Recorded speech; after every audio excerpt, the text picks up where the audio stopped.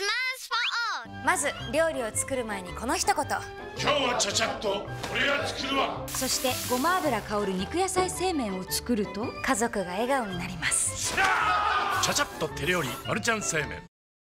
スマートフォンまず料理を作る前にこの一言。今日はちゃちゃっと俺が作るわ。そしてごま油香る肉野菜製麺を作ると家族が笑顔になります。ちゃちゃっと手料理マルちゃん製麺まず料理を作る前にこの一言。今日はちゃちゃっと俺が作るわ。今日はちゃちゃっと俺が作るわ。肩の力を抜いて笑顔で。そしてごま油香る肉野菜製麺。ごま油で豚バラ野菜を炒めそこに熱湯とマルちゃん製麺。最後にごま油と黒胡椒で完成。これを作ると作ると？家族が笑顔になります。